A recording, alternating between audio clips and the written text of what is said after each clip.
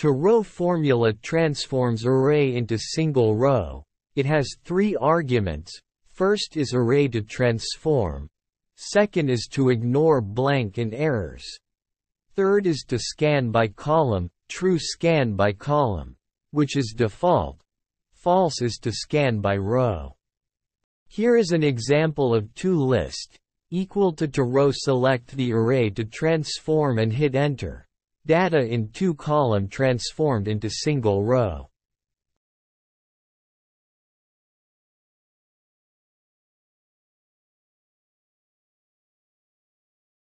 Thank you for watching, like and share if you like.